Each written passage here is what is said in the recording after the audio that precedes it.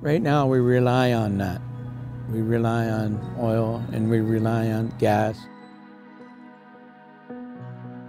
But there's going to be a day, you know, uh, when our children and our children's children are, are going to have a different perception, right? Until then, we're still going to use oil. We're still going to use gas. Still need those resources. But it's building ourselves up to that. That's where we need to uh, use uh, resource management to get us where we want to go.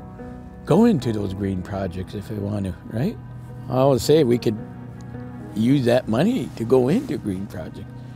There's a, there's a, there's one over here at Carbon Engineering. They got that, they got that. I always call it the big cedar tree, sucking out the CO2, and and they're doing things in research and development. It's something that we could probably utilize and, you know, be better on the environment, right? I think we need to work together on those kind of things, and rather than work apart.